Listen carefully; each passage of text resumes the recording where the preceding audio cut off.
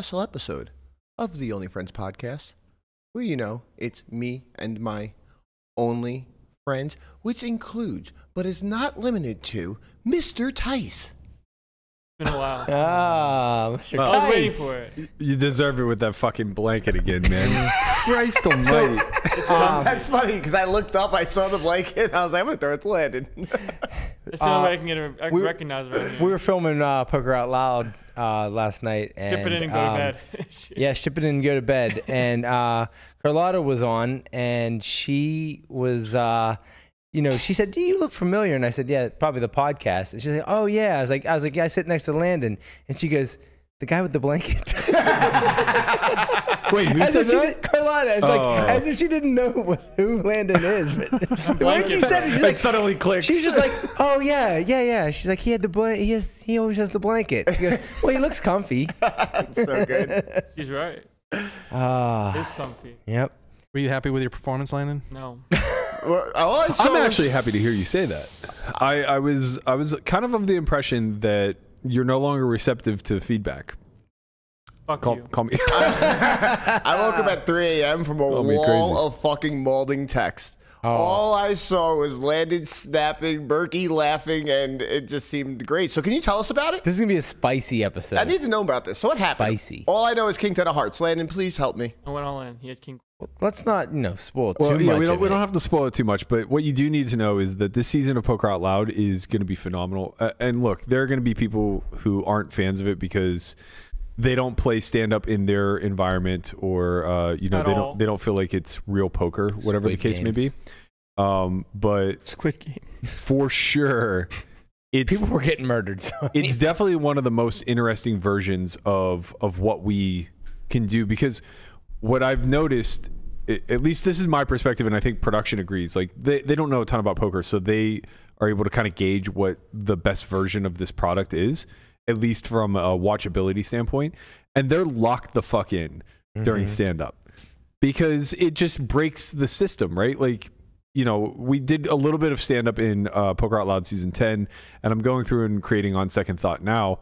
And it's just abundantly clear you can't use the, uh, you, you can't use Wizard very well to kind of figure this stuff out. It's not modeled yet, right? It's difficult to, to model into the solver how EV is passed uh, from person to person when each, each individual is playing for a different risk or reward, right?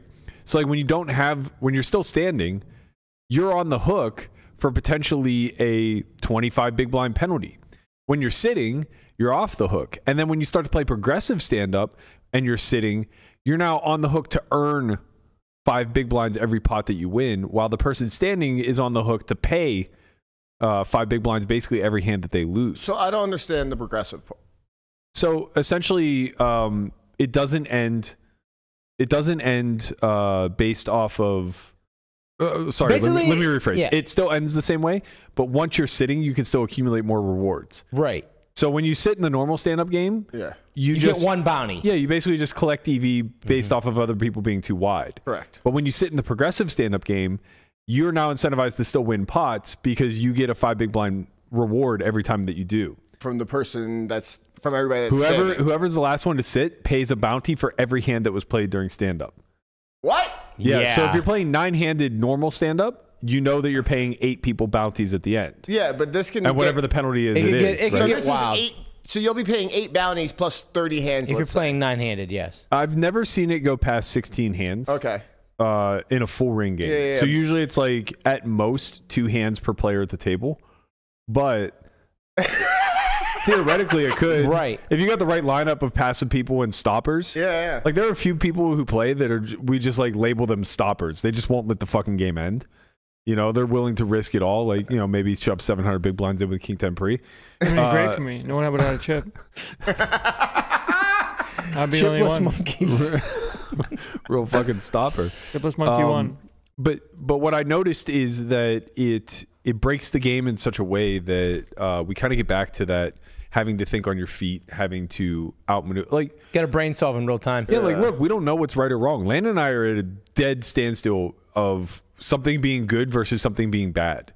And like we're both very diligent on our like we're dug into our sides where like I just think that certain things can be pretty bad and he thinks that like well it doesn't really matter It's like 2008 all over again, ladies and gentlemen. It really is. This is what we used to do. Like when when when we first moved out here, and we would go through hands, and somebody would have like you know a really difficult spot, and a really big hand would come up. We'd come back to the house and would talk about it, right? And then people would take one side, and the other person would take the other side, and would argue for hours about which which was the right way to you know to play the hand.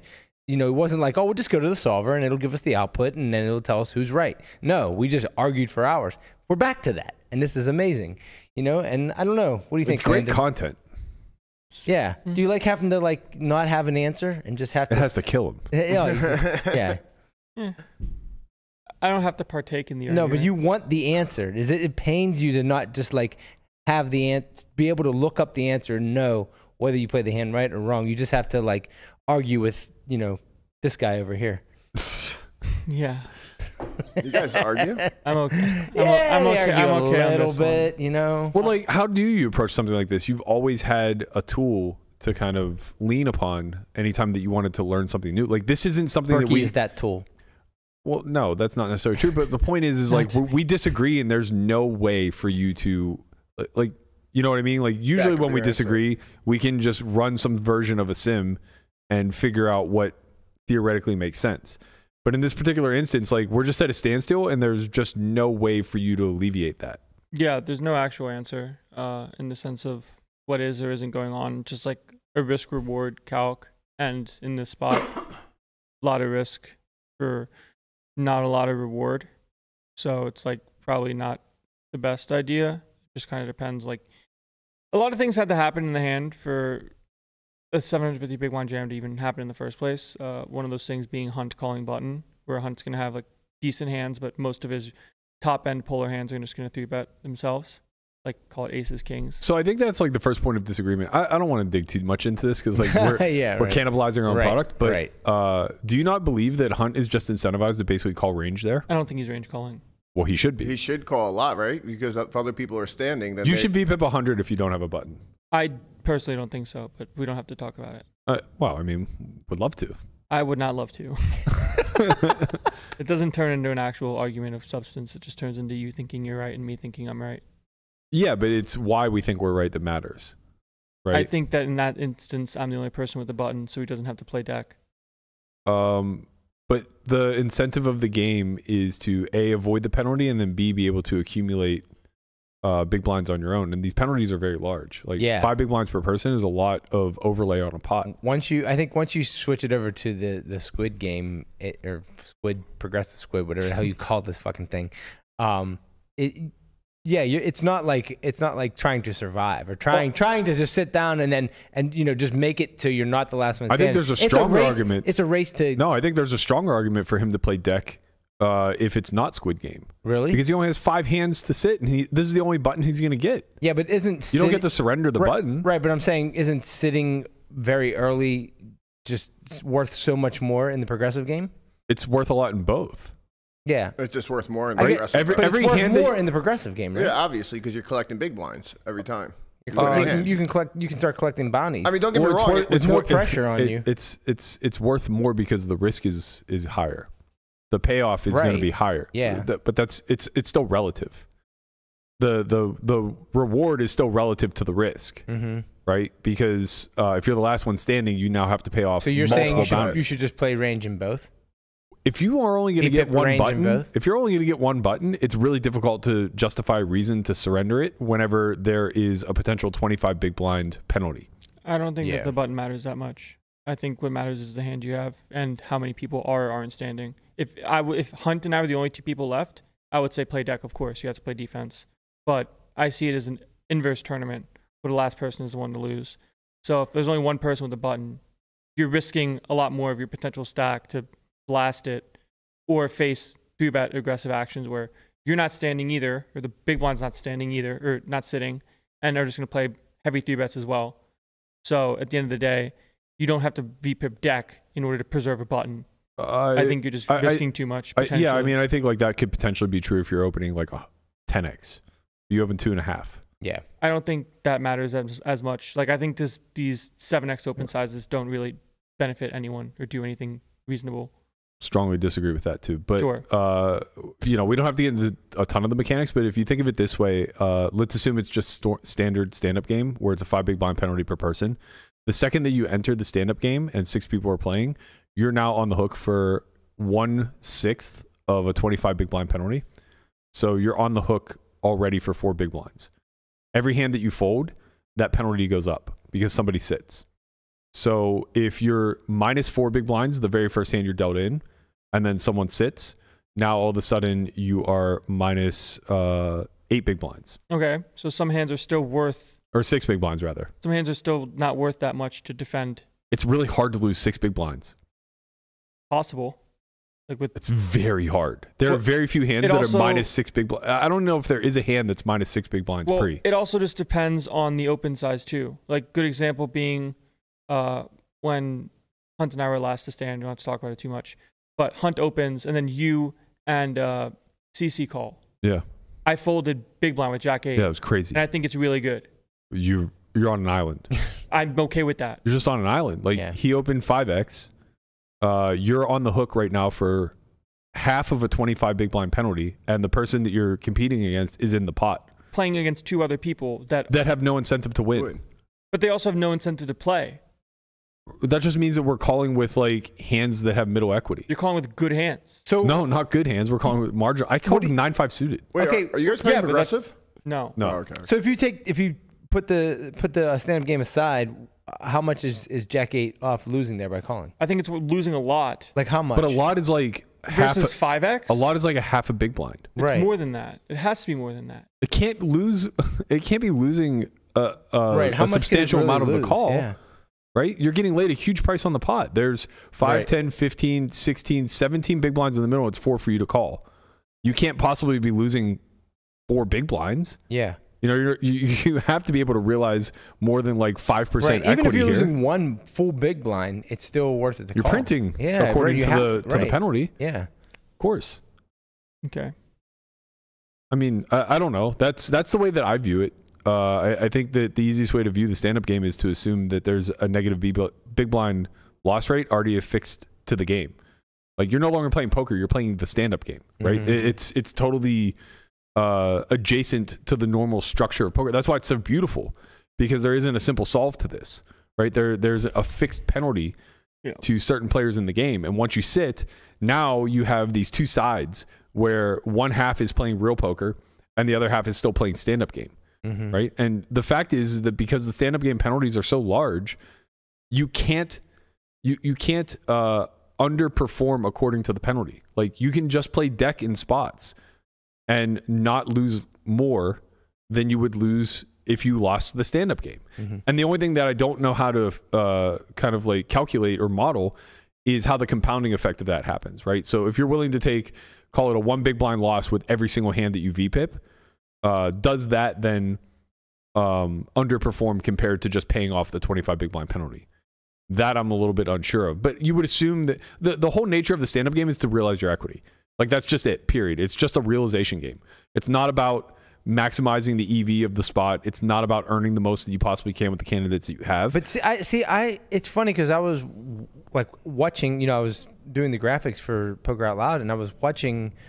You know, these hands go being played out, and I, and I was thinking like, doesn't it like actually? Like it's like yeah, it, it's a path to realization, or it's I want to just win this hand right now. So you would you were seeing very big opens, and you were seeing very, um, you know, big big bets on the flop and raises, and, and certain things to just end the hand so you could sit down. But like the fact that people are gonna fight so hard for pots would make me think that like if I had a you know marginal or a strong hand, I would want to try to play it for max chip EV. Uh, yes, Because whenever you're just- when you're at the top, not when you're in the middle. But I, but like but but why when people when ranges are so wide and people are fighting so hard when you're in the middle those hands all now become so much higher in value. They do. You just don't ever want to position yourself in a, s- in a situation to fold. And these Right. people are fighting so hard. That's the other part you just said. Whoever puts in the last Well, bet. yeah, you don't fold. Well, that's the point. Yeah, but like I think when you're conceptually saying this, you're talking about like top pair bad kicker, and that's not what we're talking about. We're talking about like you flop bottom pair. Right. No, okay, of course. No, I'm saying like yeah, but like But people it, would have but it holds true to the uh, when you have bottom pair. There's almost like no run out where you're not putting money in. No, if you have bottom pair, yes, then you're trying to just realize. But I'm saying it's exemplifying the concept that you're saying. Like bottom pair is never worth three streets in real poker, Right. right?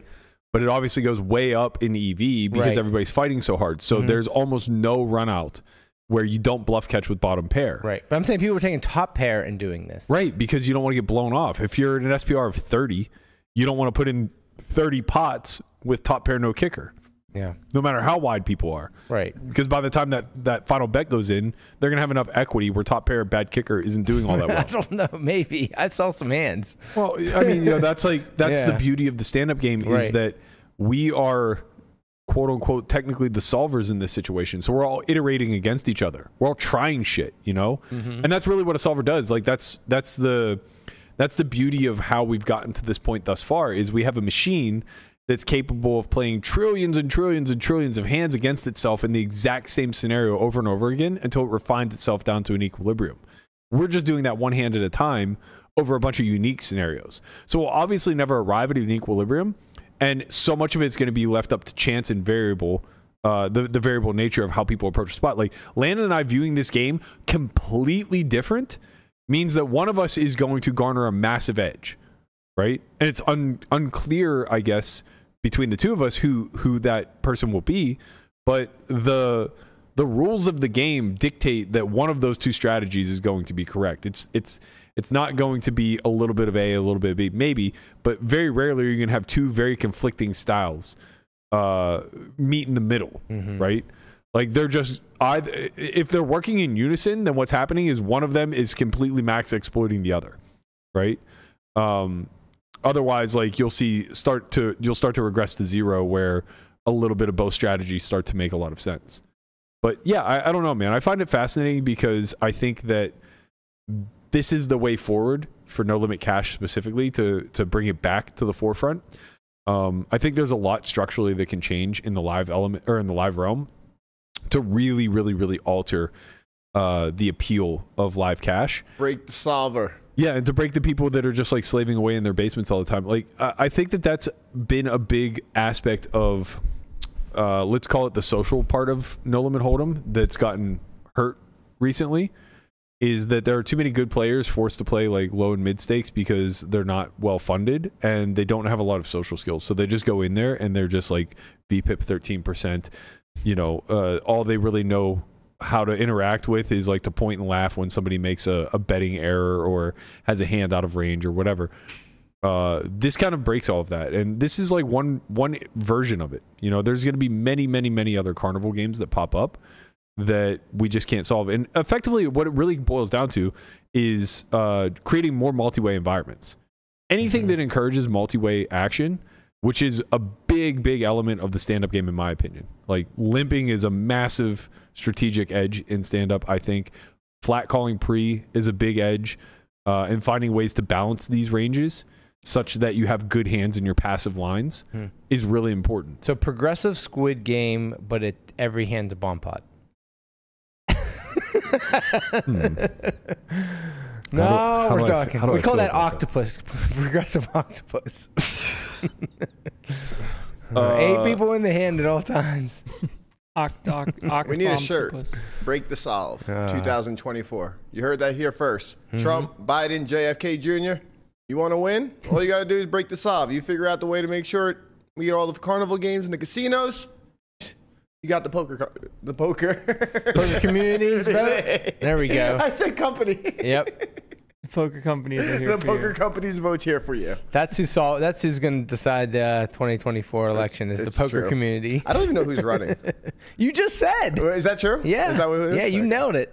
All right. He's cooking. Well, I only Cooking. the only reason why I got JFK Jr. because he didn't pick Aaron Rodgers as his running. No, he picked um. Oh, what is her name? Uh, lawyer from ph- California. Yeah, she's a uh, philanthropist, and uh, yeah. so he's running independent. he's running independent. Yeah. Correct. Is Interesting. is Vivek also running? No, is Kanye but running? he might be Trump's VP. You know, uh, there was There's rumors on somebody that. I can't remember who told me this. Uh, it was a few. Oh, I think it was. Uh, I think I heard it at the gym from uh, Jamie. Um, big shout out to former former MTT pro. Uh, but he, I think he was telling me that there's speculation that I can't remember which account it was, but basically there's this Twitter account I that's like Jamie Kerstetter. Uh, no, no, no, no. Sorry, former uh, MTT pro. no, she's current. Current Uh, MVT, bro. no, That's why I laughed. Uh, it, it's Jamie Rosen. Um, I, I can't remember what the account was, but basically he said that there was a financial account, like it was a it was uh not an alt account, but like an anon account, Mm-hmm. Uh, and it had like nailed all of these predictive markets over like the last five to ten years or whatever. Like it nailed Bitcoin price, uh, it nailed like the crash and all this other stuff. Uh, and he said that there's a lot of speculation that that account has actually been Vivek all along, which would be kind of interest interesting. Um, Mm-hmm. I almost think it would make him like less electable to the general populace. right. You know, I think like so many people are like, I, I truly think that the general public views markets and uh, a lot of things that just drive the economy in general. I think the general public views them as very, uh, very wealth oriented, very it- much towards the elites. It is because I mean, like, if you look at the entire population of the country, what like five, maybe ten percent own actual own stock. Right. Actually, have like you know skin in the game when it comes to the, the stock market. And maybe slightly with crypto, property. Right. Isn't ten- properties even maybe even less. Yeah. Ten percent sounds pretty high. I think five percent is almost. yeah. like- May, may, may, yeah. Yeah. Like, when it comes to it's stocks in that, and crypto, Right. It's I- in I- that range. I feel like right. it's between zero and five. Right. Right. Yeah, exactly. It's so it's just lot. like they just like you they view the stock market. they view Imagine how kind crazy things that as is, just too. Rich people moving money around. Imagine how crazy that is too. That uh, so few people are are dabbling, and Well, we. people don't have money. Yeah, I To was say, no, I understand that, it. but I'm just saying, like, think about that from a sheer number spa- standpoint. Like, specifically the market, right? Uh, you, you, we all understand how the stock market moves. Like, there's just um, a lot of uh, corporate money that's invested in it, whatever, yada yada yada. Mm-hmm. There's some retail, but it's not like infinite amounts. How But the when you- stock, stock market moves. Somebody in Congress buys it, and then it goes up. when you think about uh, when you think about like the crypto market specifically now where we're in a bull run and all of these meme coins are just like pumping and dumping and like you know there's just infinite volatility in Right. this space right you think about it it's like it's not technically retail but it is retail Yeah. right Yeah. it's it's like it's like almost private retail if that makes Mhm. sense because it's idiots like us that are speculating Right. but we're obviously sharper than the random person who would log into Mhm. coinbase Yeah, and it's it was it's usually the the whales and the sharps that are making all the money on the hundred, obviously. I mean, Yeah. that, regardless of what you qualify the retail as, it's always going to be the, the the tops that make it. But my Mhm. point is, is like you look at some of these market caps. I, I mean, there was a coin that launched. Uh, Slurv. I don't remember. Man, there's so fucking many. Yeah. but something launched like about a month ago, and it's already at a quarter billion market cap. Oh, one went one to one went to a billion in a day, Burke. yeah, A that's what I billion in one day. That's what I mean. So where where where is like if if the Yeah. if the uh, actual number of people speculating is low, where the fuck is all the money coming from? the top one. No, it, it can't be because they're the ones who are making it all. I mean, They can't be both pumping it and dumping Yeah, it. but I mean, I guess they could Yeah. technically. No, That's what. Elon did with Doge. that is true. That's kind of. I don't want to say it's stable, but it's kind of like you know been a good investment thus far. Doge, yeah. Better Shockingly. than fucking XRP. Uh, I actually maybe not. Why? XRP is gonna have its moment. I, I don't know. I personally don't know. I'm regurgitating not something that somebody else who doesn't know shit about Right. shit is saying. Uh, but there was some thoughts that uh, XRP might now that the um, court case. What what court case? No, XRP has a court case for something that I don't know. I have a They won Oh, that so- years ago. Didn't So they? I, Yeah, I that's I thought so. nothing happened. Yeah. So Yeah. the thing with XRP was that it was supposed to take over SWIFT uh, in banking. Mhm. It was supposed to become the new digital currency for Right. banks. Mhm. Uh, and the speculation is now that the ETF has been approved, that they may get one step closer to taking over uh, the, the the the banking industry as as their new digital currency.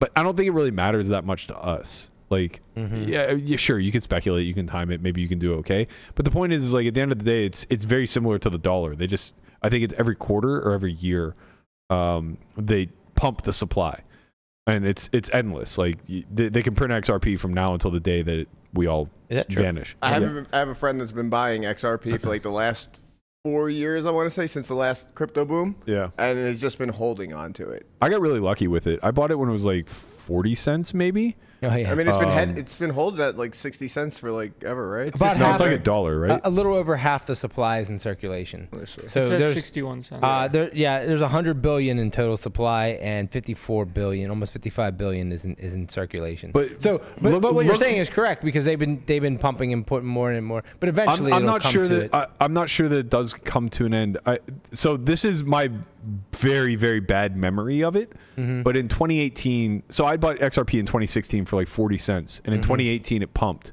uh, and I got really lucky. I got out of it like near eight all time high. I got out at like 250 or something like that. How good do you run? so good, so fucking lucky. But the big reason why I got out is because uh, they had there there was grumblings that they were going to make an announcement, which they ultimately did make shortly thereafter, and it crashed. The, it didn't crash the coin, but like it lost its value by like half. There's an unlocking or something. Something was happening where they had decided that every January or like every Q1 or maybe every quarter in general, they were going to continue to release new tokens, and I mm-hmm. thought they said it was indefinite.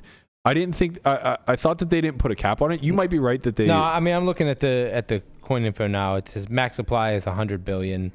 Okay. And- and May- maybe it just was, and- it was just such a gaudy number. Mm-hmm. All time right. high was three dollars and eighty four cents. Yeah. So I I got out I- s- uh, a few months before, but Yeah, I know it's been like at fifty. Current cents price is since the 61. It's amazing that XRP and Cardano ADA has been like uh, like in the top 10. They're just hanging around in the top 10 Yeah. of crypto assets for years. They're not like going down. They're not going away, but they're not doing anything either. Everybody not, that's like, bought it believes gaining, in it. yeah. It seems like Yeah. they just like well, all right. XRP was like the true re- retail coin. Yeah. It, it was the true retail coin. Like mm-hmm. it was the only coin Yeah. during the first boom where like your aunt and your uncle had heard about it Mm-hmm. because it hit mainstream media, right? Like it was almost the antithesis to Bitcoin. It was one wasn't that had a shady. Yeah. Yeah. it wasn't shady. It wasn't. Uh, it wasn't moving the black market or anything like that. It was supposed to be attached to Swift banking and all this other shit. So your grandma thinks that this is like the equivalent to a blue chip stock, Mm-hmm. and you know just buys a bunch of it at a few cents per share, and just like prays and holds. Yeah. Uh, who knows if it's ever going to amount to anything? But I digress. We've we've moved way off of uh, the general And that's how points. Squid Games go. Right, and that that is. uh, If you want to know about Progressive Squid Game, just reach out to Tom Dwan. He's bringing it to ACR. Don't you worry. It's it's coming soon, kids.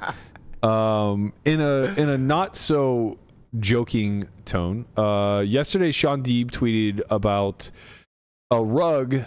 Speaking of crypto, that Sean Perry potentially pulled on his uh, Telegram group. So he basically said, I heard a rumor that Sean Perry wins rug pulled his followers on an airdrop of some token called ERF that he sold first. Big shock there. Don't know anybody who listens to this scammer. Man, I can't believe I was able to actually insert grammar, uh, like proper grammar there. Good for me for reading ahead. Uh, so fast forward then um, about half a day. And last night, Shaun tweets, apparently I pissed some people off in the Sean Perry Wins crew who decided to dox my whole family's social security number and threaten us. I feel bad that this happened to my family, but doesn't mean I'll stop calling a scammer a scammer. And if you look, this has 1,200 comments on it. I wonder how many it has now because Uh, when I I'm look- looking at it right now. It has 1,200. Oh, okay, okay, okay. Yeah. Because when I looked at it last night, it was at a thousand, and I was like, "Holy shit!" So it has 1,200 comments on it. A lot of them, 12,000. or no, 1,200, 1.2k. Yeah. Oh, oh, I thought you said 12,000. No, 1,200. Uh, and I'm looking at it now. It looks like the vast majority of the botting has been deleted. But last night when we looked, there was probably 100 comments in a row that were just bots. Uh, there's still some in here. It says in the Bible, the devil always wanted war, and from there, will always. And it puts out uh, someone's social security number. Yeah. Uh, so uh, I'm assuming this is Ashley or whatever, someone in his family's social security number. So yeah, if you like scroll through, these bots are all through here just doxing the Deebs, which is really fucked up. That's fucking Yeah. absurd, man. Um, and you know, it's. I think the absurd thing is that this type of botting exists on Twitter, and Elon, who's been somebody that's been pretty proactive about claiming that he's getting the botting under control. That It's he's not under control. no, it's a nightmare. It's so much worse than on- it ever was. It's funny if funny you're on crypto Twitter at all, it's just like literally every, every com like underneath the, the all the Yeah. comments are just bots and scams and I'll For tell you whatever reason, Be on careful poker, there, Twi- on poker Twitter, it's all fucking sex botting. It- all of it. it was- Everything. It's wild. It was horrible, like I want to say like a year ago, but I've seen it feels like it's been cleaned up for me at least. Like my personal mentions and stuff like that. Like I don't get that many. I used to get like I don't know, seven a day, and I feel like I maybe see once a week now. I had to shut off like I actually had to shut off um mentions of, of people I don't follow Mhm. because Oh, it was didn't know about literally just nonstop. Yeah. So Yeah. I've blocked a few of like the sex bots or whatever. And Don't lie uh, to us. And for whatever reason, now they just like auto mute themselves. You know how you have to click like show more? So it's like I have them muted, but I don't have them mute. You know what I mean? Mhm. is blocked what they call subscribe nowadays. Yes, that's honestly, it's like it's it's so laughable to me because uh, I don't understand. I- I just don't get it. Like this version of engagement farming can't work. Nobody on earth could be clicking these fucking links. It's impossible. Link in bio. It's just so fucking impossible. I mean, maybe it's a numbers Uh, game, and then they just It's it's it's like the the the Prince of Nigeria email. It's like okay, sure, I understood how it worked initially. Well, I think I think the problem is is you click on these links and then it puts malware on your device. No, I and- understand that. Right. I So they understand. only need to get a few people and then to make it worth it. I would say that the Prince of Nigeria is still fucking people. To Yeah. this to this day, the I- Prince of Nigeria is still out there fucking people. Maybe I maybe I just give people too much credit. way too like, much. Yeah, way too much. All those people that live in Pittsburgh, they fall for that every No, they week. fucking don't, man. You don't. s- Now You Cleveland. watch your mouth. Now Cleveland, on the other hand, just kidding, Cleveland. No, you're not. No, I'm not. Um, yeah, I, I mean, maybe I give people a little bit too much credit, but like, I, I just look at the construction of these tweets, and it's like impossible to think that there's anything on the other side of it. It's possible. You know what I mean? It's like it's worse than the old, at least the the old one nine hundred commercials that you catch late night on USA made you feel like ah, this girl might be into me. You know, Yeah. maybe I could sway her. Seems like if we had a little conversation, she might be interested in the big dog. You know. But like this, it's just like it's an AI generated fucking profile that says S period X period, you know, whatever. It's like with a fucking link that just says, "Hey, this is a goddamn Trojan horse." God, I would love to see how many people click. A lot that of link lonely today. people out there, bro. I know. There's got to be a true. good amount, man. This actually reminds me of my 18th birthday. I'll try to make this as I'll try to make this as quick as possible. Please don't. I want oh every detail go off. Everyone. I was working at a shoe store called Just for Feet. Um, Just for there's sounds actually, there's bad actually a, pretty, a pretty big brand back in the day. a shoe Anyways. store. No. So I had been there since I was an 15 OnlyFans account. I've been there since I was 15 years old. Um, and when I turned 18, all the guys in the warehouse were like, "Yo, we're gonna take you to Little Darlings." Yeah. It's like, all right, that sounds great. Well, Yo, bro, sidebar, Little Darlings in New Orleans. That place is dangerous. Go on. Anyways, long story short, we get there. I'm having the time of my life. Um, one of the guys gives me twenty dollars. Like, get a lap dance. I said, okay. So I get a lap dance. This young lady takes me to the back. I get a dance. I come back out. I'm like, yo, I need to get another dance because this girl really likes me. Yes. So I'm there with like six guys, and they're like, no, no, no, spread it around. You know, here, here's a little bit more money. And and I was like, no, you guys, you don't understand. Like, this girl really likes me. So I end up getting like 10, 15 dances from this girl, and sure enough, she didn't like me, guys. yeah, I'm shocked. Uh, not, not not to She play didn't like you. She loved you. not to play this game, but it, it, it really does. I think I told this story before, but uh, when I was 25, my college catcher was getting married, and we had his bachelor party on Bourbon Street a week before Mardi Gras. So we go down there. It's like 106 degrees with humidity, like just impossible to be outside.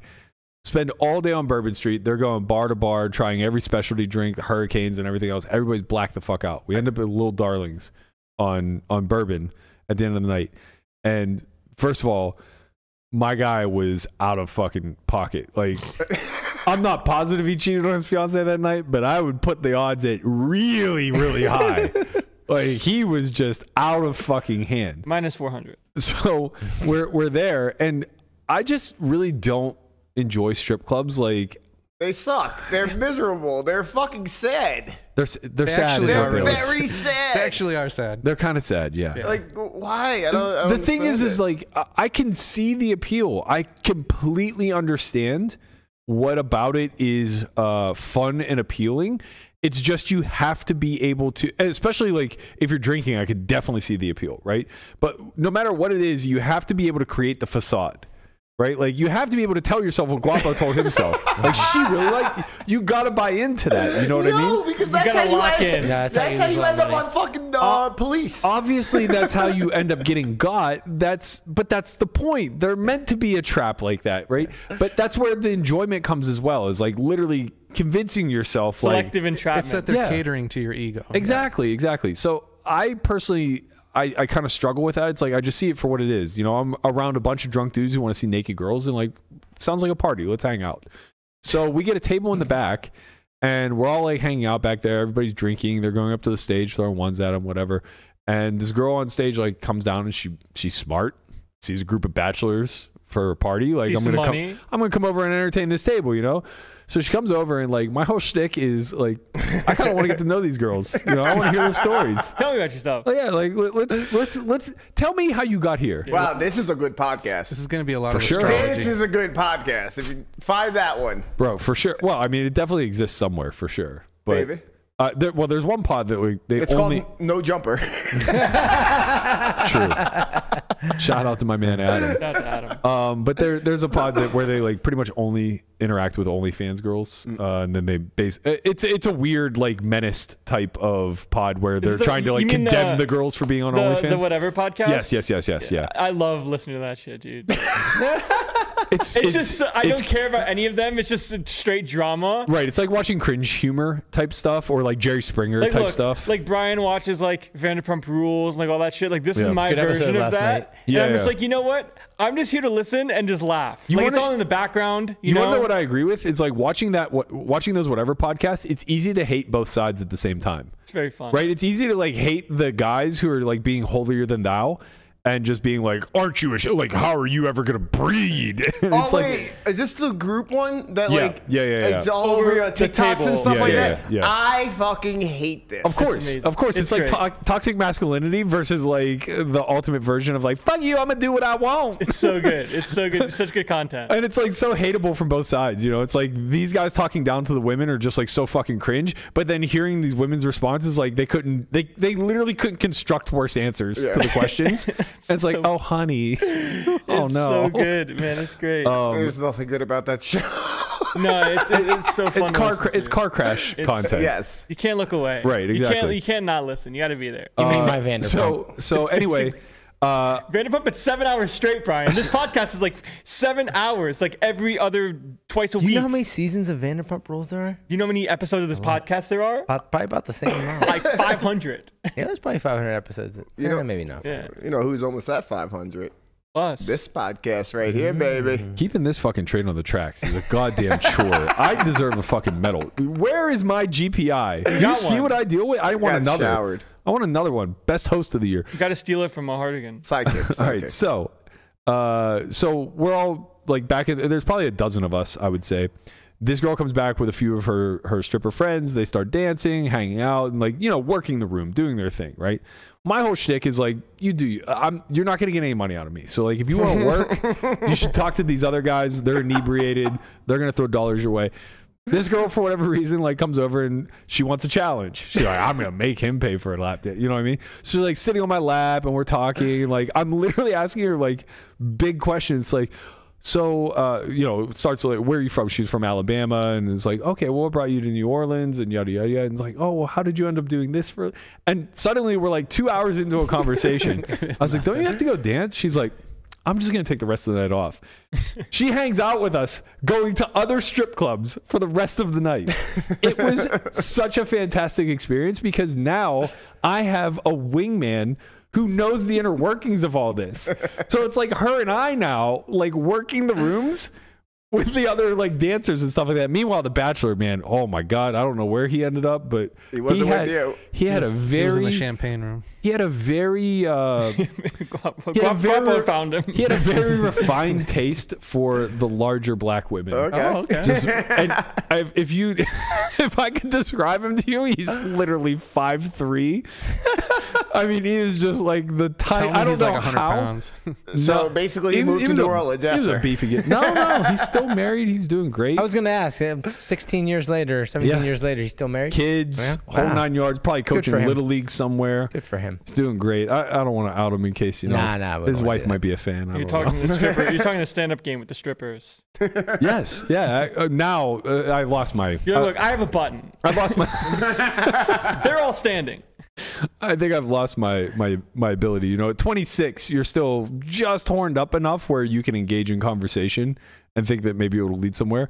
42, it's just like okay. So the premise of the game is have- if you- you, you don't need an outlet. You need an outlet. right, right. It's like okay, so it's like musical chairs. If you don't get a chair, you owe me a lot of money. oh, I like the sound of this. What a good friend you are. I couldn't imagine going out with a whole bunch of drunk people, not being a drinker. And, Bro, it's so much fun. That sounds so miserable It for was somebody so else. So much fun. That's You interesting. you just have you. Peak voyeurism. I mean, like, I probably don't want to do that drunk. are you a people like- watcher? Yeah, At love, all? love watching people. Okay, then you understand Love how much fun watching I people. had, I- man. Yeah, I guess. it's just the only time that it gets a little bit not entertaining is whenever the testosterone tends to over. Like, there's always one fucking guy in the group. Yeah, that's There's that's the, always it's like who invited Ned? Ned. You know how this fucking ends. yeah, that's the thing I can't do. That one person, like they just, Right. they, I just, I'd There- rather stay home. There is always one, but you know he's always also the the fastest to get blacked out. Yeah. So you hope to just get him in a cab and get him the fuck out of here. Shout out to Denny. I'm just thinking that. I couldn't remember his name. My best friend Jason's bachelor party was out here, Oh, and they, I they spent heard the story. I spent the entire day from from morning until dawn the next day babysitting Danny. Like we went out on a boat on Lake Mead, and by 2 p.m. this motherfucker is like dead to the world. I you remember still you had sent the me- whole night. ahead of whole sent- night ahead of us. You sent me a text at like two o'clock in the morning that day. Like, what are you doing? Can you come pick up Daddy? And he's he couldn't. I don't know where he was. I don't know like, where I was, but I could. he was either drunk himself or like somewhere else. So I'm Ubering home with this guy who's literally blacked out, and he threw up. The uh, the only way I can describe it is it looked like he just projectile vomited oatmeal in this guy's Uber. It was guy sushi. driving, oh man, the guy driving was so sweet. He was like, mm-hmm. "It's okay, I understand. I'm just going to charge you a hundred dollars." like, oh, okay, yeah, you're just like the strippers, Oh, yeah. taxing that ass. Poor Somerville had a similar story. He won his first bracelet. Um, I think he won like half a million dollars or something. Okay. And D- D-Negs took him to uh, took him to the Rhino. little, In hindsight, little did he hilarious, just hilarious. not his cup of tea. Oh man. That's All funny. right, let's uh let's get into in the muck. Sorry, I I, I jumped that one on.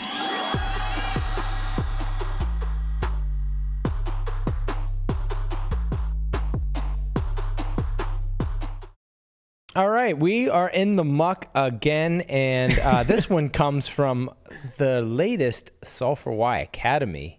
So uh, we're gonna have a little Academy footage for you, but um, since there's two tables, this was uh, picked up on the turn, the footage. So prior in the hand, what happened was uh, it was a hand between Dave and Will, and uh, Dave said this hand is from the January Academy. It was day one, so breaking flow doesn't make me Judas. Now he said he said this because uh, we told them that you know you can't the whole day you can't break flow, aka like make donk leads or Right to stuff- give you guys a, a a little bit of understanding. On day one, they were just like constantly calling and then leading on Right. like King Seven yeah Four. yeah. So yeah, that's right. So like they they told So him day two, we Yep. we just put a hard. You're not allowed to donk in any Exactly. spots. exactly. Um. So uh. no luck that shit. Right, right. so uh, uh, Will has about uh, a little over a thousand. He has a thousand sixty, and he opens with uh, seven of spades, seven of diamonds from the button to twenty five. They're playing five ten, and uh, Dave calls, and he has him covered. Uh, he has five of diamonds, five of hearts in the small blind. Uh, the big blind folds, and the flop comes six of spades, three of hearts, four of hearts, and uh, there's 60 in the pot. And Dave breaks flow and leads for 40. Will calls. The turn is the five of spades, and uh, and uh, Dave bets 125. Will raises to 365. And uh and then uh let's see. Sorry. And then Dave jams for his remaining $630 and Will calls. So he's jamming for like two thirds pot. Yeah. Um, okay, this is an interesting spot.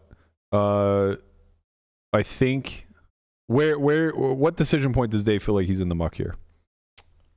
Um so he says, I'm in the muck about the donk lead, turn size, and my river jam. Okay, and what was the turn size percentage of pot wise? Uh, so the turn he bet 125 into 140. Okay, that's the problem. Yeah. Okay, And then we'll raise to 365. right. Mhm. Okay, so um, my my takeaway from this is I, I know we said that they aren't allowed to break flow, and he still shouldn't have because we basically no locked them in that regard. But this is a good board texture To do to it. break flow. Yeah. Um, you need to be somewhat cognizant though of what the range is that continues passively, and what what density to different regions he'll have. So uh, the board was six four, six four three, I believe. yes. Yeah. Yes, the board was Six four three two six- hearts. Six six of spades, three of hearts, four of hearts. Right. So what you're going to see um, a large density of Will's range being is overpairs that choose not to raise. Some of them will raise some of the time, some of them won't. So it'll mostly probably be overpairs. I would assume. What do you think, Lena? With or without a heart would be more aggressive? I would say without. Right. I think with oh, okay. more equity is better. I, I, I'm I'm totally indifferent. So. A width is fine by me, uh, but in any event, like he'll split his overpairs based off of if they have a heart or not when he chooses to raise. So we'll have some overpairs. Uh, we'll have Like what raise versus lead, you mean? in position In position versus as a response Versus versus, a lead. Which ones will we choose to raise? I still think heart, but I'll check. okay, yeah, it's fine. Um, I mean, we'll get to the bottom of it, but basically, we're speculating that he will split his overpairs, largely favoring either having or not having the heart when he chooses to raise flop. So when he calls, he's going to be condensed to overpairs that either do or don't possess the heart. Uh, he's also going to have a lot of uh, non-combo draws. So you're going to see a lot of like two overs and a flush draw. You're going to see a lot of uh, hands like nine, ten of hearts. Obviously, that's still two overs and a flush draw. But my point is, is that um, you know he's going to have non-nut draws. He's going to have nut draws, etc. They can't all fit into a raising range, especially on a texture like this. Uh, and then he's going to have like pairs and overpairs that also possess draws to them. So he's going to have hands like six seven. He's going to have hands like six five. He's going to have hands like sevens and uh, like eight seven, um, things of that nature, right? So when the turn comes to five, obviously this is advantageous both for the small blind leading range and for that exact hand, pocket fives. The issue becomes we're not polarizing on a one liner Mm-hmm. or I guess on a four liner, depending on how you qualify it. So you could have either a seven or a two for a straight at this point. Um, and the the issue with polarizing here is that in position has more eight seven than you do. You're not going to flat all of it pre. You're not going to lead all of it post. So there's a massive concentration, uh, or, or a massive imbalance, I should say, in nuts here. In position actually has the nut equity if we're talking specifically 8 7. When we're talking about just any straights, they're going to be a little bit more evenly distributed between the two ranges. Um, but again, in position's range is going to be condensed quite a bit because he's the one facing the aggressive action.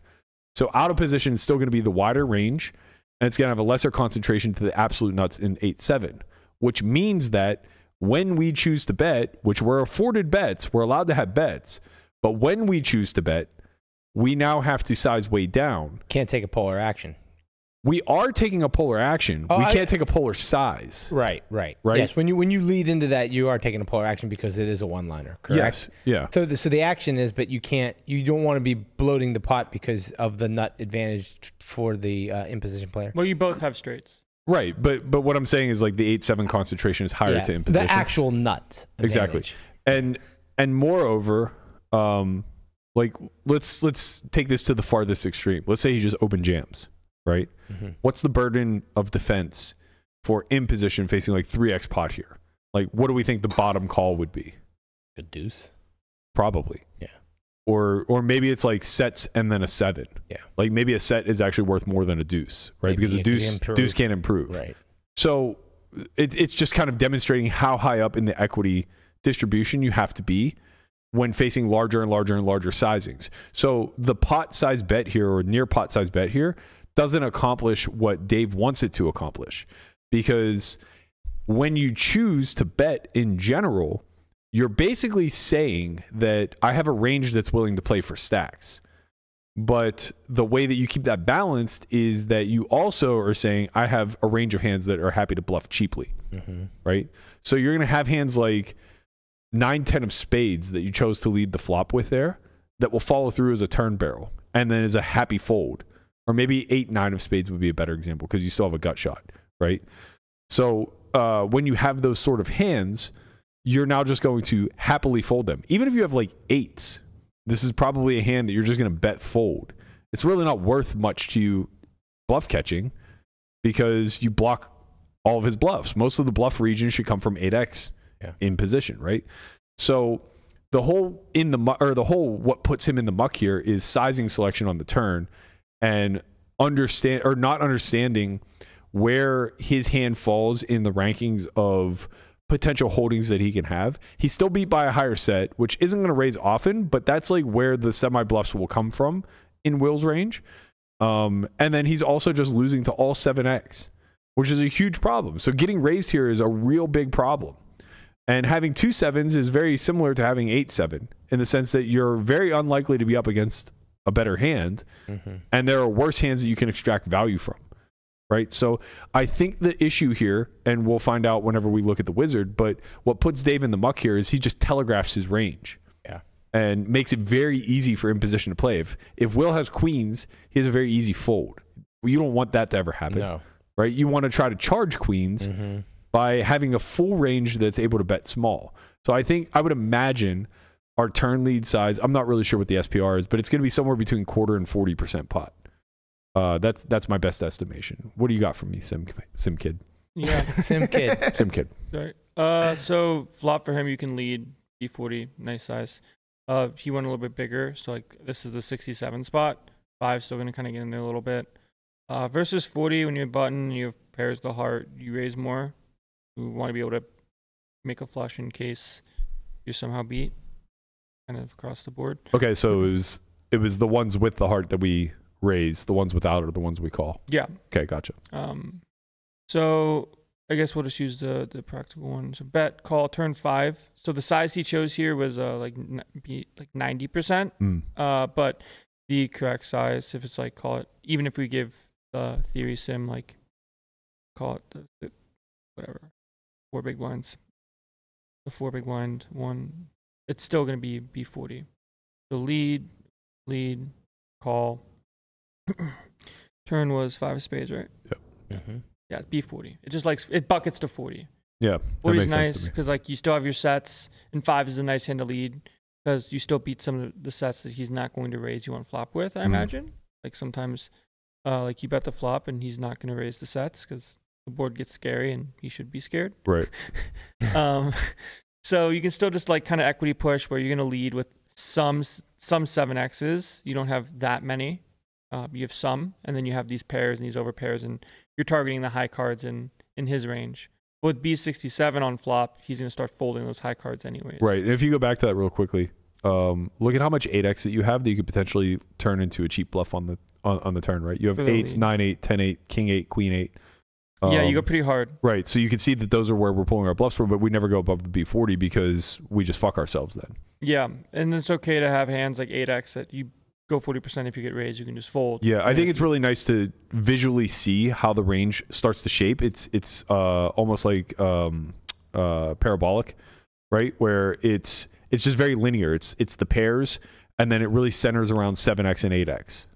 Yeah, straight, and then your bluffs are here, and then you have some your bluffs here, just like with queen nine when you lead flop, are going to be flush draws. Right. You're not going to have queen nine of diamonds. Right. I assume it's the same with king queen. Yep, Where we same. have that. Yeah. Uh, well, here you actually have like. Oh, clubs and- interesting. yeah, I would never have found these leads for, for what it's worth. yeah, sure. You just have king queen blue, and you lead the flop, and then you bet the turn because we want to have a king sometimes. Yeah. Uh, anyways, doesn't matter too much, I suppose. I guess you want to have the clubs and diamonds because when you go forty percent, the the offsuit Broadways with a heart now fold Mm, uh, more. Like ace queen gets to fold. right. Uh, the and they, they weren't peeling king queen of clubs or diamonds to begin with on the flop, Yep. so that doesn't really matter. Yeah, versus the size you choose, they just Yep. fold. So you Yep. kind of have unblockers. A king sometimes is nice, but very cool concept. Sure. Uh, we go big bet on the turn, uh, and he raises, and his raises come from seven x. His raises come from flush draws. Looks like more the front door flush draws than the back doors. Like Right. Hearts more than spades. Makes sense. Uh, and then seven Makes sense that it's like king high too because you dominate some. Mm-hmm. And then ace seven just a straight. That's a good hand. Ace eight's not a good hand, but it could be. And then ace six is like I don't really know what I'm doing, but I have a six. Sure. so now I- like it, it probably that block six, five, and sixes. yeah. So small blind here after facing the raise, like can you jam? Like sure. Is it like that big of an EV difference in theory? Like no. Is the issue like is someone that you're playing against gonna raise a hand like ace six? Some of It's the times? interesting that you jam five some of the time and sevens never. Yeah, uh, well, you just I guess you just weight him more towards bluffs. Right. Um, and he shouldn't be he shouldn't be raising a set on the turn anyways. Right. Right. Right. Like he doesn't have fucking uh, fours. It's like why would I raise when well, it's it, what makes it interesting to me is that fives can improve and sevens really can't. So the board can deteriorate for sevens, but not fives. okay, I so- mean, it can for fives, but so, the button's raising like sevens with like spec- good suits, right? Yep. Like unblocking all of the other ones. Um, because I guess and then like any seven X that can improve, it's raising almost full. yeah, and it's Nine, like seven, eight, seven. yeah. So if the the reason the I guess we Small just need blind. some seven X, and when you double block, it's like pretty nice to fit in there with our sets. yeah you got to have a straight like Right. sometimes because Yeah, like ace seven with a flush draw you're like I'm all in because I want to free roll them. Right. uh six seven you're like i'm all in because i can also free roll them Yep. and then when you have sevens you're like well if the board is if the river's like an offsuit queen i need to have a straight Yep. Yeah. So yeah. i have two seven blocks Right. if if it if they get me they get me if Yeah, he has yeah. ace whatever flush draw on. but yeah so like in theory is it an issue not really in practice is it an issue Probably. Yeah. like you're just not going to see many flush draws here you're mostly going to see straights so right. if you just like quickly let's just let's play the node lock game of like dun, Hmm. dun, like dun, dun, dun, dun, dun.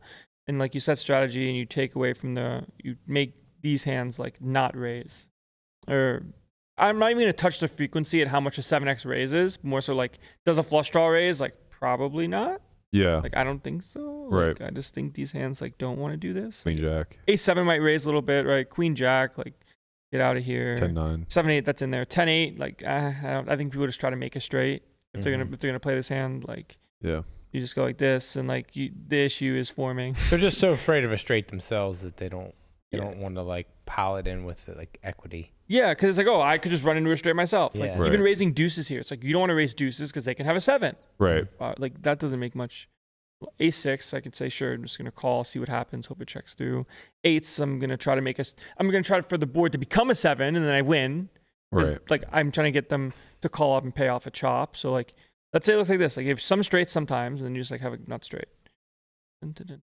Well, we're certainly never going to get the shove now. Yeah, I They're just No. bladed. Well, of course, they're just bladed. So like we go here, or like yeah, they go here, and like they go like this. Like oh fuck, like can't shove a set anymore. Yeah, we just pra- in we, we just shove we just shove hands that we can free roll with. In Yeah. practice, they So probably are eight just seven and then seven x with a f- with a free roll. Yep, eight sevens and X with a free roll, Mhm. and then like you can jam like two sevens sometimes with the good suits because whatever. Right. Uh, but this is kind of what happens very quickly in practice when like button doesn't have spicy raise. Mhm. You know, like machine's gonna take ace eight and be like, oh, he's gonna have a lot of folds enough of the time for this to be relatively decent. Hmm. Uh, but because the issue is in position wants to raise a seven. A seven is a good hand. A seven needs protection and value.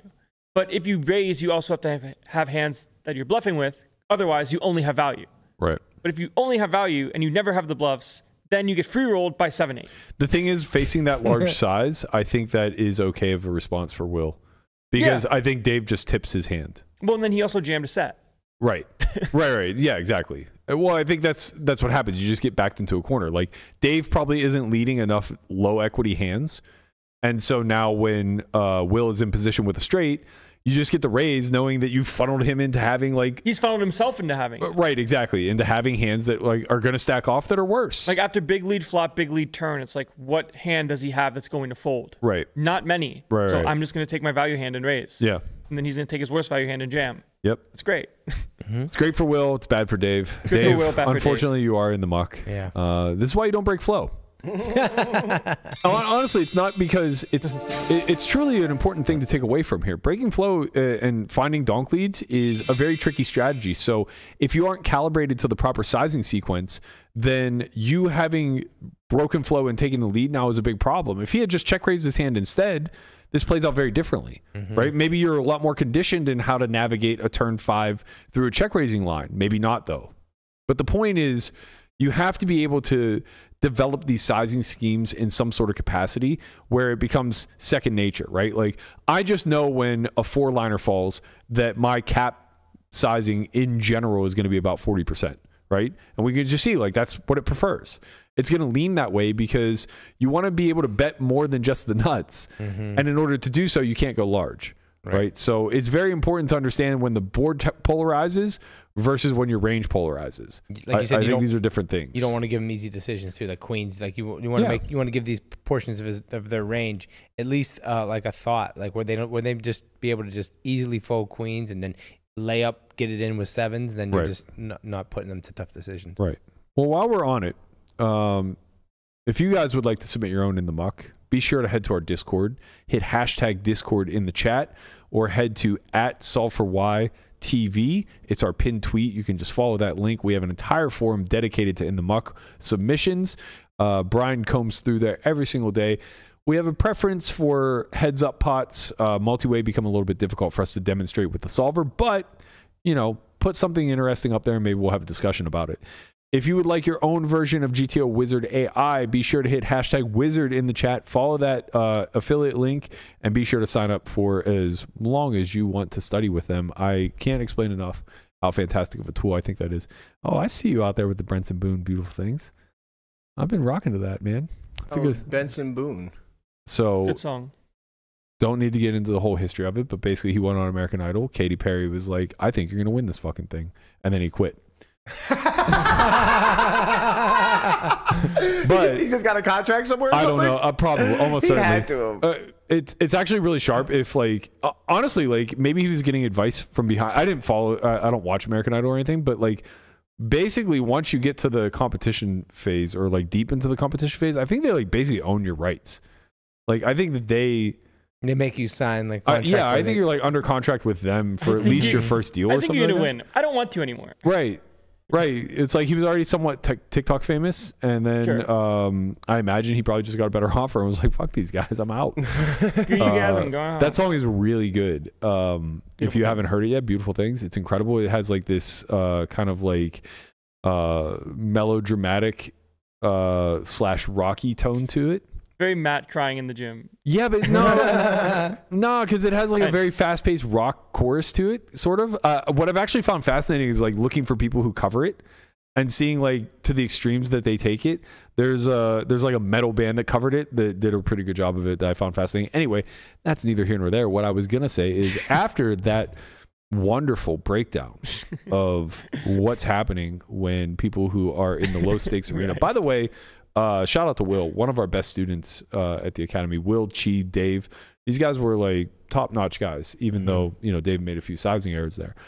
The concepts they understand them. These guys are winning at one three and two five. I would fucking mop the floor with those. Two. Are we back on this already? yeah, we're back on this. All right. I would mop those guys if given the opportunity. I don't know. And that's no slight against them. I think they're fantastic. What's Will it take has, to make you play? Like a 100x crossbook? I, I would definitely play for 100x crossbook. Yeah. If I could get 1 3 to become 100 300, yeah, that'd be fucking nice. Mhm. That'd be nice.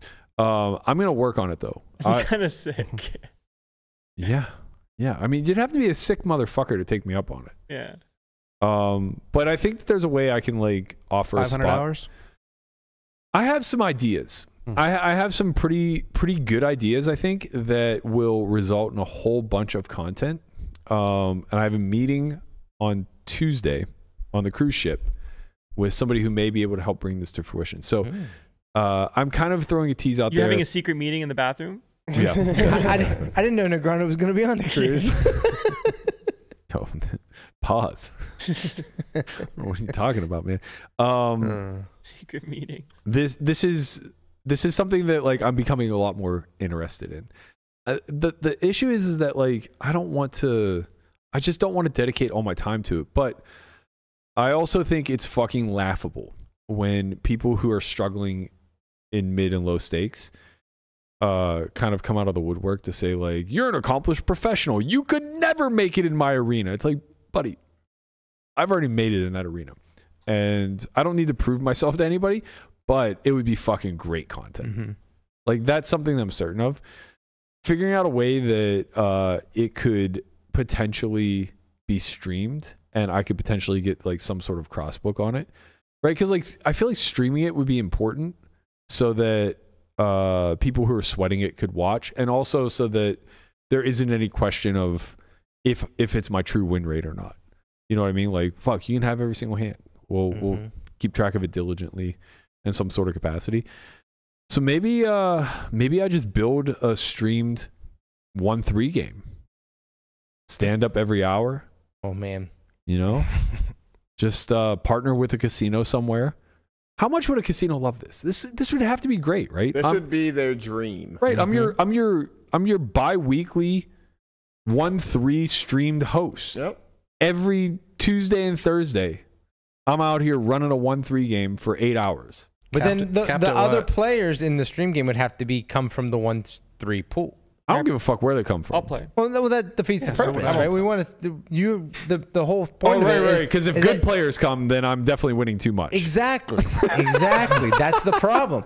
That does that proves nothing. Right, you right, have to be right. able to beat the worst players Right. to prove that you're Right. better than the worst players. That's true. Which makes no Poker sense. Out That Loud is is broken Landon. He won't even go play the stand-up game in a one-three game. He's like, I'll, I'll play. No, wait, never mind. I was Never like, mind. no, I was gonna play. I was like, no, I have too many other things to do. I want to. No, you definitely have too many other things to do. Go, go When you're some. out, when you're out there in the streets, man, you actually got to stand up too. This ain't no oh button yeah. shit. Oh, I hate ain't the no, ain't button no stuff. chipless monkeys. It's Look, just you're standing. Standing up is actually a big psychological aspect of this game. Standing Yeah. monkey one. Okay, Yeah. like when people are physically standing, it is a very different Right. In. Poker Out Loud, we use chips to signify standing, you know, or sitting for production purposes. But you know, when you're out there, you're When you're out your there. knees are getting tired. You know, it's it's it was leg day. You're like, God, I just want to sit down. That's right. And you start, start- yeeting, yeah, yeeting. then- then tell me if you're playing 100% on button or yeah, not. Yeah, exactly. All of a sudden, that Jack 8 is like Fucking in lean, you're leaning on one leg. You're like, ah, it's getting getting a little cumbersome standing here. You know, I really like to sit. Yeah, What's Wait till you gonna get to our age. What's going to be the cap on this game, Matt? Um, I don't know. I, I haven't really worked out the details, but I think obviously in the spirit of the game, I want it to replicate a live environment as much as possible. So probably somewhere around 200 big blinds. Seems like that seems to be the general cap. That's, yeah, that, One that's three right six in there. Unless you're playing Texas one three. yeah, Match, Match Yeah. stack. Yeah. You have a Texas edition on Friday. I mean, there would be that, right? Like, I would be a little bit more incentivized to travel to Texas for a couple of those streams, maybe play some low stakes there, where it's match stack, play a little one three, have some meetup games. You're basically Guy Fieri going to Flavor Town. yes, Diners, drives, and dies, baby. That's only poker style. Yep. I'm. It, it's Berkey's going to. in the street, Honestly, in the muck. This is in the muck for sure. you start going to like Potomac, whatever, Poughkeepsie? wherever, yeah, there. yeah, There's no casinos in You and Poughkeepsie. Jaffe playing one three. right, right. Mhm. Yeah, it's it's gonna You be a whole thing. You can whole meet thing. Nancy from Nancy's Ah, Tires. Right, it's gonna be a whole thing. Me and Jaffe are just gonna travel the Midwest, and Mhm. we're gonna grind one three for the better part of a year.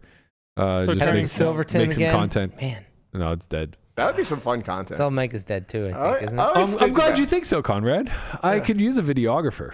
Uh, Mm. uh. You better get your. Uh, Wow, that Sounds- fun really this- turned this- around. this sounds miserable now. Uh, Cut it. Sounds Sounds miserable. so great. We Huh? need somebody to film all the B-roll, buddy. Horrible Mhm. idea. Uh, man, I never so, thought I'd ever want to say this, but this this is bad. I'll tell this you is what. bad. You don't want to lose your mind in the process of this. I'll tell you what. There will be a golden chair every fucking week in my stream game for Sid.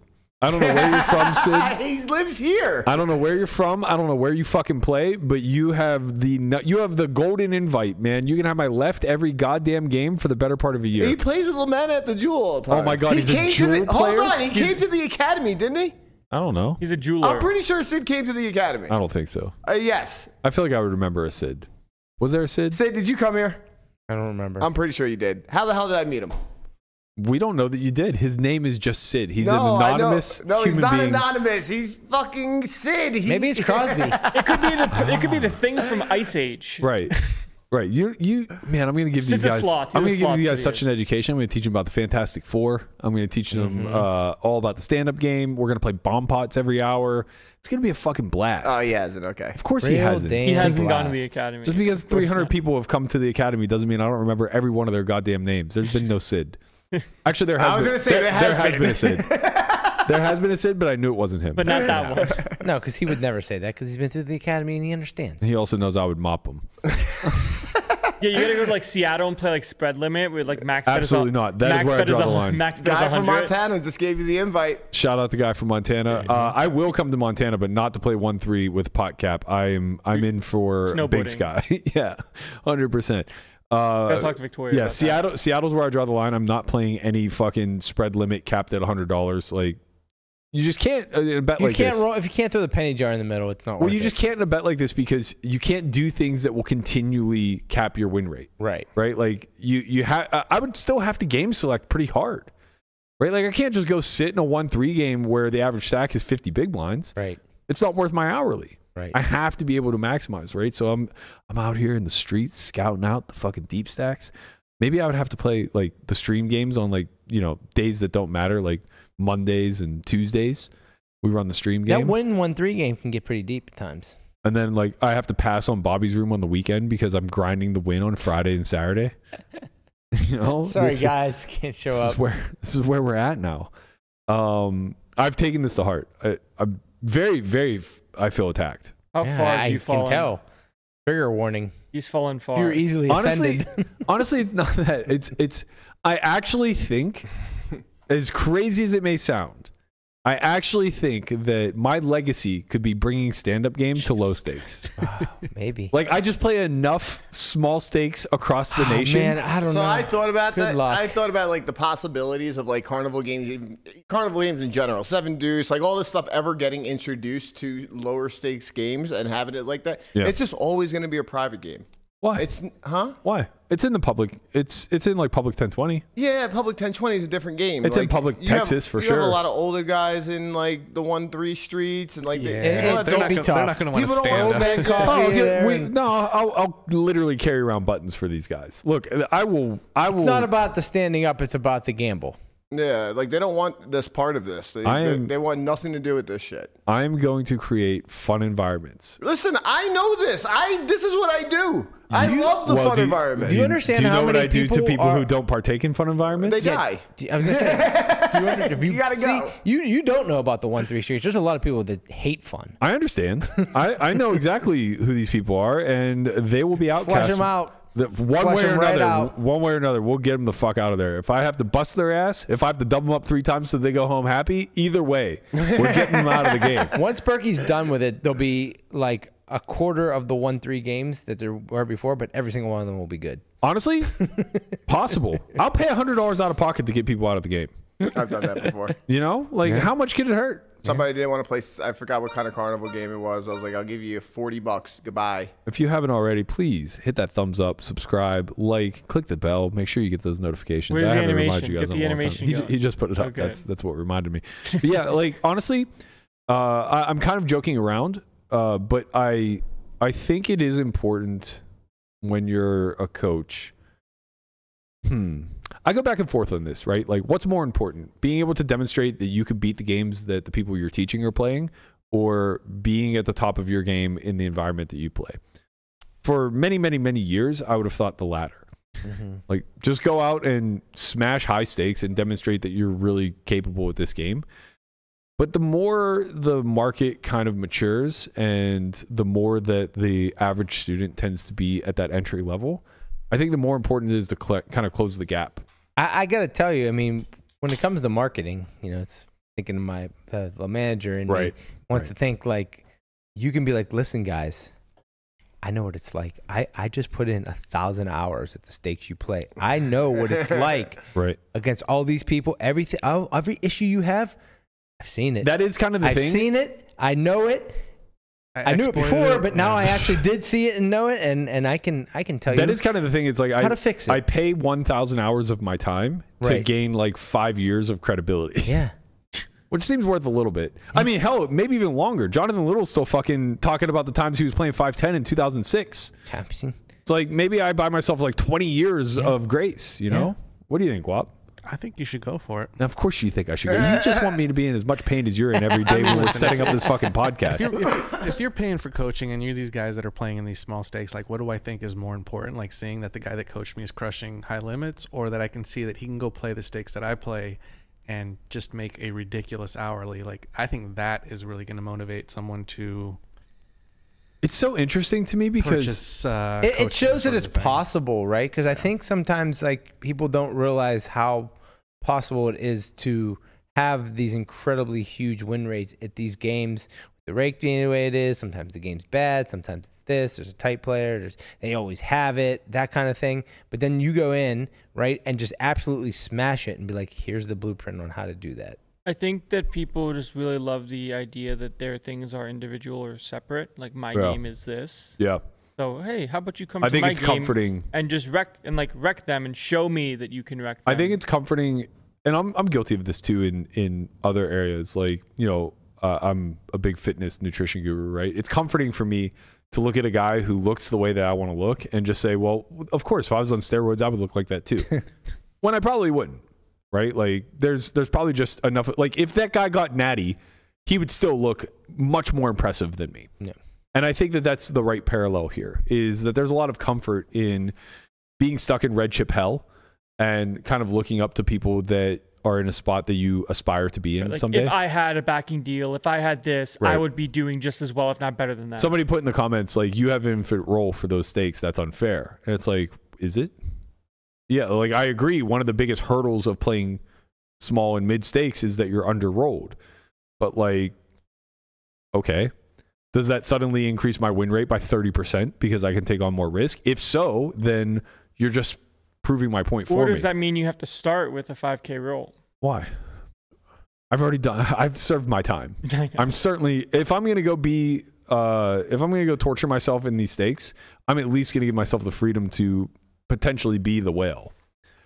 Uh I, I don't I don't see any reason to like handcuff the bankroll yeah, yeah. constraints. Like uh but you're right. You're right, because like then they'll say, Well, you got to do it off of an You infinite have, a, you have a billion zillion dollars. I don't have a billion zillion dollars. Right, right, exactly. And it's just like win rate is win rate. It's it's derived from the same place. And yes, it's born out of being able to take risk.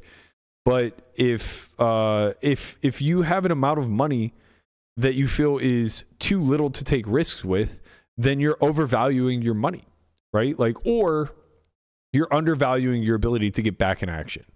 Right? So basically what happens is you're just putting way too much emphasis on the security of staying put. Mm-hmm. And that's your that, like that's a choice. Right. That's what I don't think people understand. Everybody who's saying like, "Oh, you can't do X," what they're not really acknowledging is that they're making a selected choice to be short-term comfortable in order to endure long-term long-term pain, right? Where like the one of the biggest reasons, and granted, I recognize my survivorship bias. I totally understand it could have went the other way, and I could be fucking an accountant somewhere in Wisconsin. like I get that that's how it works, but a big reason why I actually reached a level of success was because I was willing to go broke time and time and time again, and then start back from, stra- You went from broke a scratch. lot.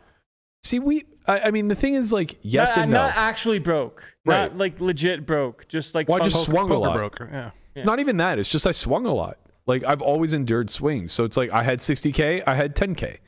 Did I go broke? No. But did I torch a, a functional role? Yeah. But I did so in the attempt to scale, and that's how businesses tend to work. You take on some level of risk.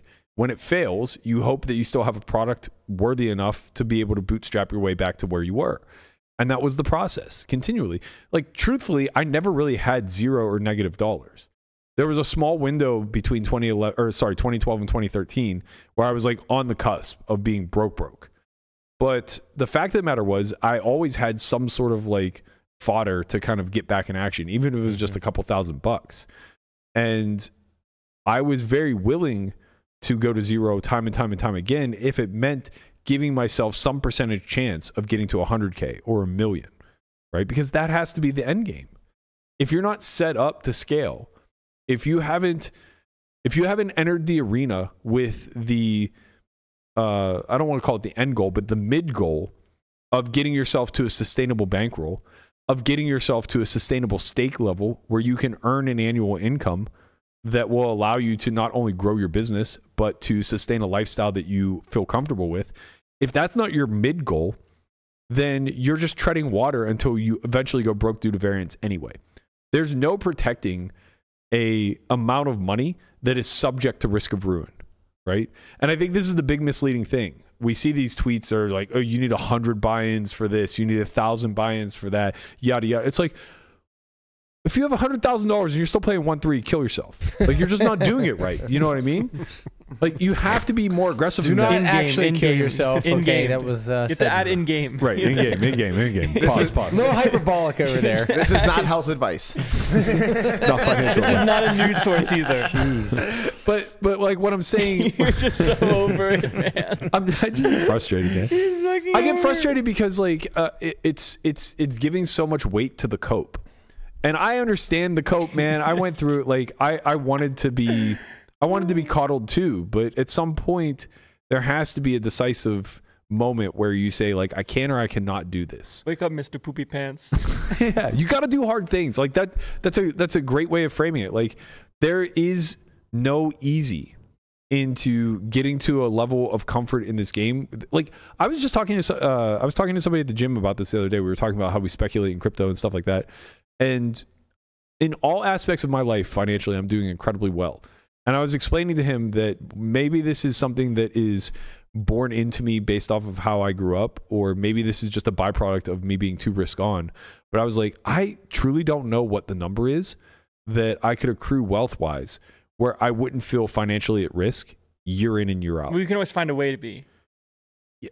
I'm playing smaller stakes now than I have over the last 10 years, right? Consistently. Like I'm I've never been this well rolled for a stake level that I've played in my life. How's it feel? Yeah, it feels good, right? I still feel I still feel financially stressed always. Always. And it's not because it's not because my risk of ruin is like greater than 5%. It's probably not. But it's because every single thing that I have money invested in is extremely volatile. More money, more problems, man. Is one of them being not a a problem. crossbook? It's a crossbook. it's uh, my daily action in the games that I play. It's crypto market. It's a business. yeah, that's right? just your lifestyle. Your lifestyle is very risk on. Yeah, yeah. I don't have a blue chip stock portfolio. Like, you don't that's have to just play earning five percent year over year. Would you? But and you wouldn't even choose that anyways. I wouldn't. No. I wouldn't because like Because you would kill yourself in game. it's not even just that. It's just like I, I don't, I don't want, I don't want. If I I feel like you get so complacent when that's the case. Like, oh, I have a, a certain nest egg that is earning me my expenses year over year. Retirement. Yeah, I mean, don't get me wrong.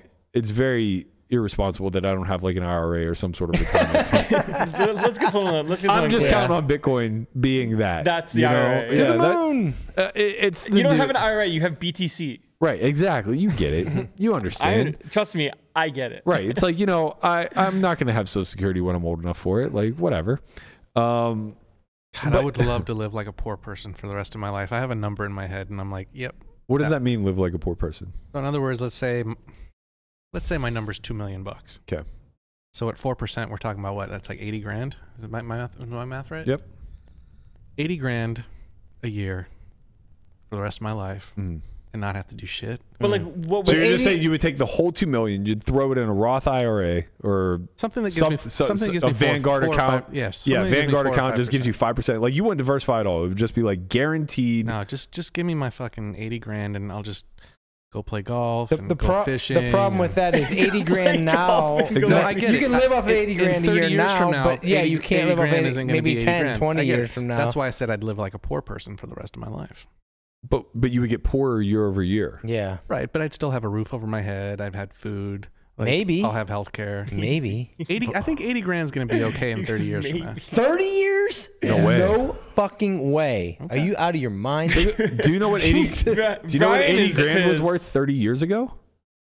Uh, let me a think here. lot. The cost of living thirty years ago. Um, I'm just I'm guessing. just trying to think about gas. Like gas was probably like what, 250 a gallon? Thirty years ago, More like 85 seventy nine cents. Yeah. Yeah. 30 years ago. Fuck, really? I was Yeah. twelve. My Yeah. first my first pump that I ever had when I was sixteen under, was way under, nine under cents. dollar for sure. Wow, my first pump was like $5. Well, that's because you just started me. driving last year. no, I've, I've had a car since I was 16. It's I'm not fucking me, with man. you, Could have dude. sworn it was like two bucks. No way. Uh, I started driving in 1996. My first pump Gas. was Okay, 89 cents. 1990 gas price was a dollar fifteen a gallon. All right, so I wasn't like too. Okay, so now n- do 1984, right? Well, that's Or no, but, no, no, but sorry, but that's that's that's average. Where we lived, it probably was under a dollar yeah. for sure. 1981. Uh, no, no, it- 1994 would be 30 years ago. 94 Sure. would be, yeah. Uh, I'm saying 1970 was 36 cents. Right. 1981 it tripled to 119. I would guess that the cost of living, and I think I'm going to be pretty accurate with this because uh, I was below the poverty line at the time. I think the cost of living in 1994, if I had to guess, was probably in the neighborhood of $28,000 a year. Mhm. Uh, and the poverty line was roughly 22K.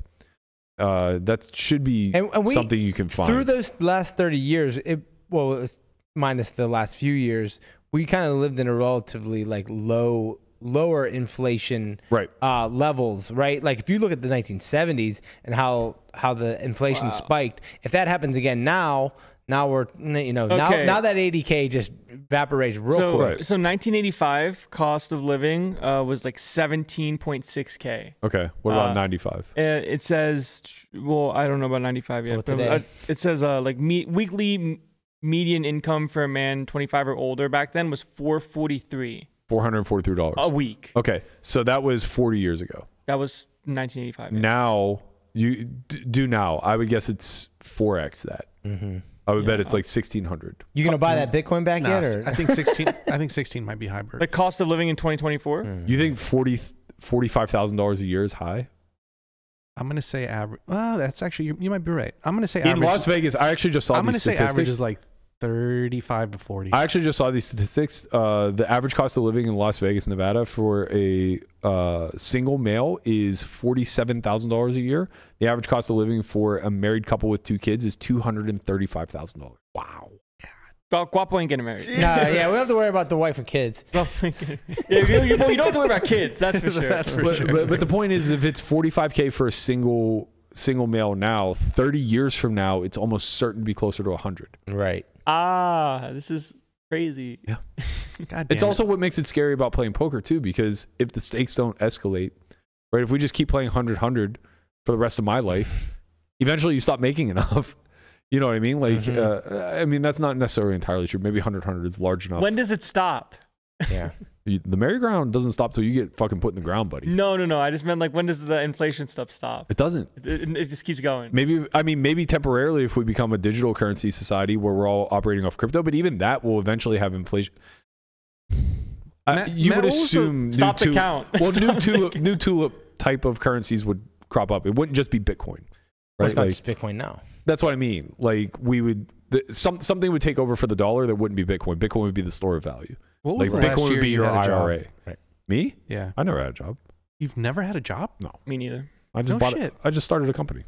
That's my job. Oh. No, I've, I've never no, your job is not playing one three Never at all had it. local right, casinos. Right, right, right. Yes, I'm about to get a job. Yeah. Uh, Damn, that's wild. I didn't know that. I I, thought you I've had never, like, I've never clocked in. When I was a kid, I did a lot of like hustle work. I, I did concrete with but my. you've never like worked for a company. No, uh, which I actually think is a pretty good thing. Like I know people push work onto their kids, Hmm. but like remedial entry level minimum wage jobs don't really teach you any skills. Right. But like I did, like I laid conc- responsibility, but yeah, skills. I, But, I, I guess. but fuck that. Like I laid concrete with my uncle. I worked on cars with my best friend's dad. Like I mowed lawns. I did things that like give you real world skills. Mhm. So like I have the capability, in spite of like being able to live a pretty luxurious life now, of being able to handle certain things that you don't have to outsource. Hmm. Right? Like back it's backbreaking labor fucking laying concrete. Everybody should experience that at some point. Listen, but I couldn't believe it. Uh, we were out um, when Skimpy was in town and we were friends. Berkey was supposed to meet up with us, and he gets a flat on the on the way. And then I see an Instagram pop up. Is it is it Triple A coming to, to tow his car away? No, it's Berkey down there fucking uh, just just Gonna fucking call Triple A. yeah. no, fuck he's just I out got a there donut. just just got a donut and he's you know changing the tire. Hey, you guys got to. The only thing I was scared about wasn't like the actual work or Which I'm like surprised. I you don't have AAA. Or you don't just I do, but like Yeah. I don't. They take so fucking long. It took me 20 minutes to change the tire. true. Uh, and the only reason it took a long time for that is because the the spare is weird, where you actually have to inflate it. It comes with a pump. I've never seen anything like this before in my life. Like how fucking bougie is this? I don't even have a normal donut. I have a donut that looks like it belongs on a car. like it has a fucking Yeah. rim. Yeah. it was the weirdest thing ever. But uh, the the only thing I was afraid about was the part of town I was in. Uh, I I pulled into a shopping center or whatever, like a I don't even want to, like a strip mall, I guess. And it was after like 9 p.m. So all the lights are out, and there isn't a fucking car in the lot, Oh jeez. and it's not exactly in the best part of town. And these cars kept like pulling in and pulling out type of stuff. And there's Berkey in his Maserati. And I just have His phone is videoing. Just yeah, it's like uh, honestly, like Landon goes, "Why'd you video this? Like just for the flex?" I go, "No, literally, I was afraid. I was like genuinely afraid. I wanted there to be like evidence if somebody because the tire iron I have, it's not those old school ones that are like the big T's right. that like spin No, or whatever. yeah. No, I just have this like little That handheld thing where fucking you- wrench. yeah. I'm like, who who am I gonna impale with this? I'm gonna have to throw the pump at him and hope it fucking hits him in the head. Where's your baseballs now? Right, bitch? That's what that's what I'm saying, Landon. You understand? You got to Gotta keep- protect You yourself. just gotta have a baseball in your pocket. All right. So, moral of the story is, I am going to take on the endeavor of playing one three no limit uh, sometime this year for a thousand hours, and I'm going to get a big crossbook down, 50x, 100x. Whoever's out there, if you're out there and you're watching this and you want to bet against me, I'll spot you a few bucks an hour. Um, What is Plan- a few bucks? I don't know yet. Okay. I don't know yet. I'm gonna have to figure out like what the because I want to make it worth my while. I don't, I don't want to fuck myself, uh, but I also want to make it worth theirs in case like what what's my expected loss rate? You know, it's not going to be the same as my expected win rate if uh if I'm a winner or loser in the game, right? So it's like whoever's betting it is betting that uh, I'm either going to run bad or play poorly or whatever. But if that's the case, I'm probably going to lose like five bucks an hour, right? Whereas if I'm playing well, I could probably win like 40 bucks an hour. So I want to figure out a way to kind of like half that. So maybe I spot them like 15 bucks an hour and I have to overcome that. Uh, it's really going to come down to how much people want to to give me a multiplier on it. I need to make it at least at least 10x stakes. I, I don't think I can play for less.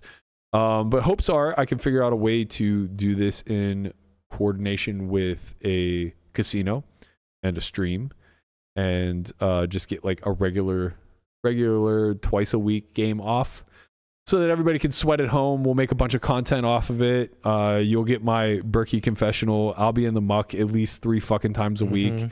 You guys are going to love it. Stick around for the ride. It's going to be a blast. We're all going to get rich together, and Sid's going to eat my fucking hat.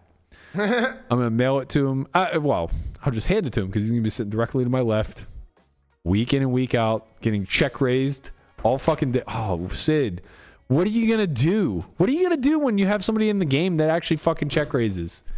He's gonna have a value hand because that's what good players do. Good luck, buddy. Good luck and Godspeed. That's gonna do it for us. We'll be back at noon tomorrow. Appreciate you guys as 11 always. tomorrow? Oh yeah, sorry, sorry. Tomorrow's opening day, so we're coming an Right. hour early for you tomorrow. Thank you. 11 a.m. We'll see you guys all then. Peace. Go Bucks.